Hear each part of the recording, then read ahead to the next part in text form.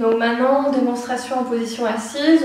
dès que vous êtes en rapport avec euh, la gravité, vous vous repoussez systématiquement du sol, de manière à ne pas compresser vos vertèbres, mais à travailler en même temps sur les extenseurs de votre colonne vertébrale.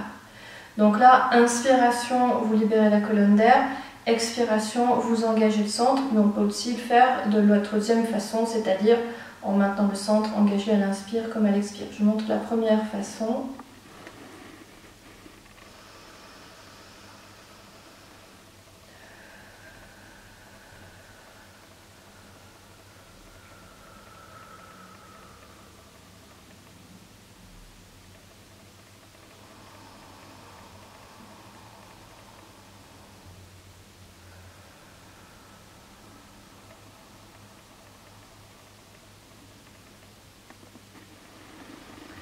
Et la deuxième façon, je vais la montrer exprès de dos pour que vous voyez le travail de respiration costale.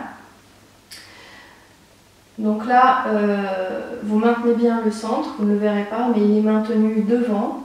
Je mets mes mains comme pour le marquer euh, mentalement pour vous. Et la respiration va passer dans le dos.